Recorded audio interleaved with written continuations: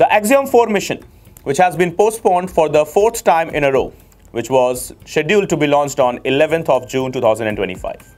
So it's not a new thing for it getting postponed, but it's an interesting fact for us, the Axiom 4 mission. Why so?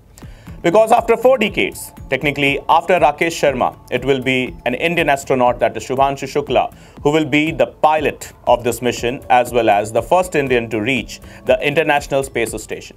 So remember guys, four decades of the gap, a leap of four decades, and we have got after Rakesh Sharma another name Shubhanshu Shukla sir.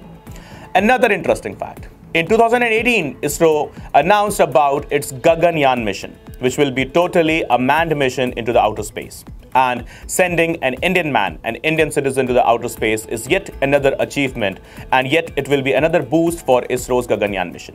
But you know, the most interesting fact. The Methi and the Moong Dal. Well, you would be of the point, where is Methi and Moong Dal being, you know, fixed here and connected here?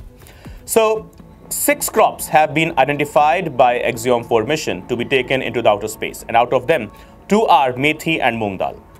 Well, rest four are unknown yet, but two of them, that is fenugreek, that is methi, and moong dal, that is green gram, will be taken by the astronauts and they will be studying its behavior, its growth into the zero gravity that is into the outer space.